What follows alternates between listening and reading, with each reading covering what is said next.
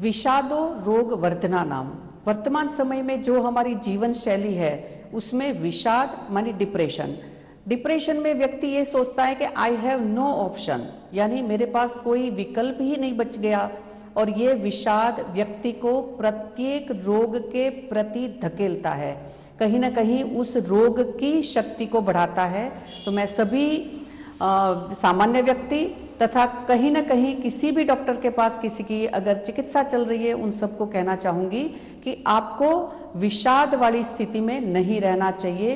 प्रत्येक समय अगर शुद्ध सात्विक भोजन के साथ अगर हम मेडिटेशन का प्रयोग करते हैं, विषाद से दूर रहते हैं और कहीं ना कहीं हम कोई ना कोई सामाजिक कार्य में सम्मिलित रहते हैं तो हमें कभी भी विषाद हो ही नहीं सकता और हम कहीं ना कहीं अपने शरीर को बहुत सारे रोगों से बचा पाते हैं। तो आयुर्वेद में कहा गया है, विषादो रोग वर्धना नाम।